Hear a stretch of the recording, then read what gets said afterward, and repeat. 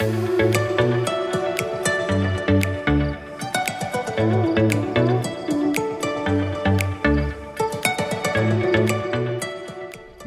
Koca Sinan ilçesi Yemliha mahallesindeyiz.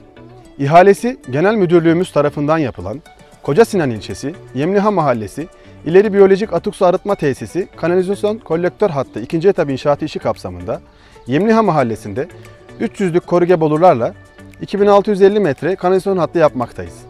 İş kapsamında Yemliha mahallesinde mevcutta bulunan kanalizasyon hatlarını da yeni kanalizasyon hattımıza alarak yine 2020 yılında genel müdürlüğümüzce yapılan birinci etap hattını aktarıp Yemliha Mahallesi İleri Biyolojik Atık Su Arıtma Tesisine iletimini sağlamış olacağız. Projemiz tamamlandığında Kocasinan ilçesi Yemliha Mahallesi sakinleri daha kaliteli ve kesintisiz altyapı hizmetine kavuşacaktır.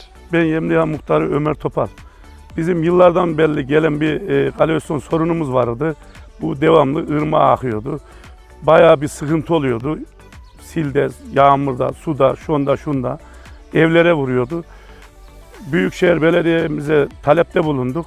En kısa zamanda çö- sorunumuzu çözdüler. Şu anda da bitmek aşamasında. Buradaki emeğe geçen belediye başkanımız Mendup Büyükkılıç'a, KASKİ müdürümüze, emeğe geçen herkese teşekkür ederim.